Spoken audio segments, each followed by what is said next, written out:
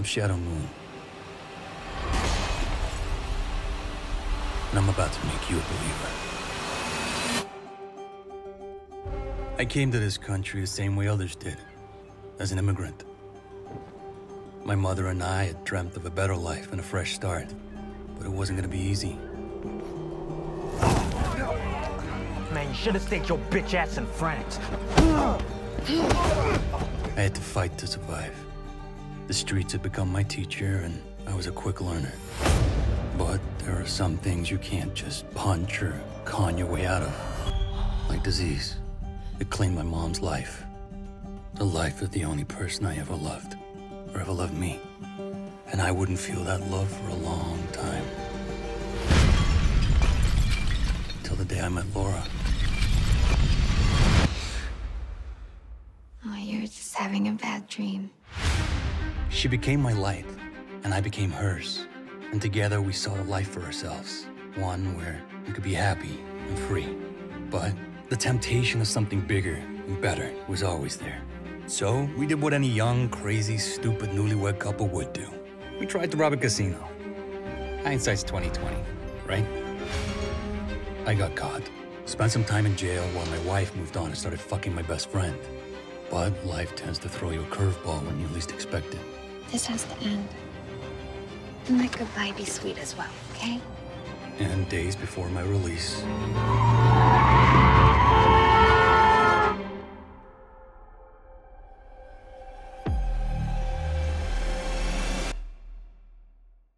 I became a widower. My family, my wife, my best friend gone. And no amount of magic in the world could bring them back from the dead. I was all alone, waiting for a sign, something to just give me direction in life.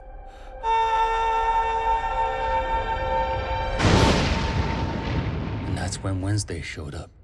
What should I call you if I was so inclined? Shadow Moon. How you fixed for work?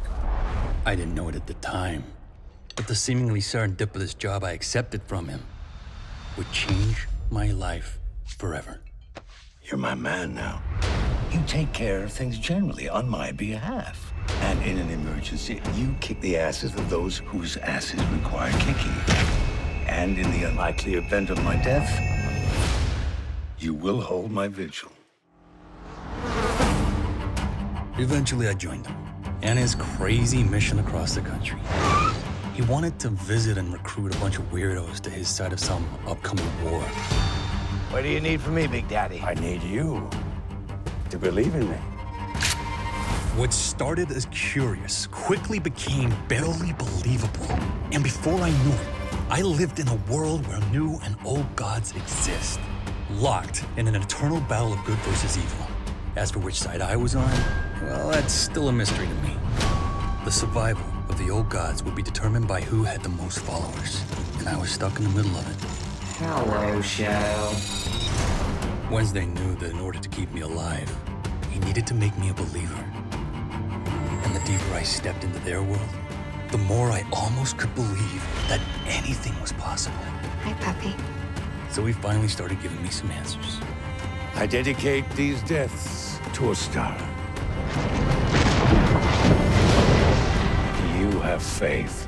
What are you? Do you want to know my name? Tell me. I am Odin!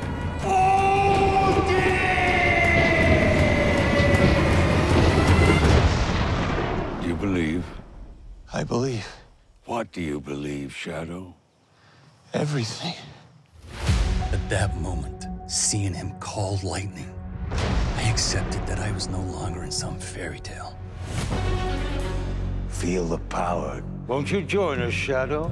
We had a job to do if we wanted to win, but I had to convince the others to make them believe, like I did. As Wednesday's world opened to me, each of his answers only led to more questions. I knew my past, but what did my future hold? I wanted to know my place in all of this, be it with mortals,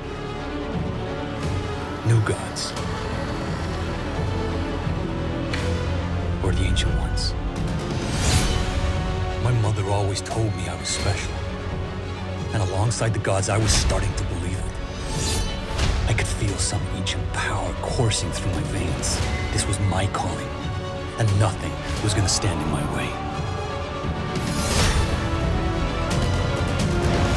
And after all the crazy shit I've seen, nothing could have prepared me for the knowledge that Wednesday was not only the Allfather, but my old man. Shadow Moon. To be continued. My whole life has been leading up to something big. No matter what you believe in, gods, magic, fucking divine intervention, know this. If something truly is your destiny, it will find you. Believe. My boy is gonna do just fine.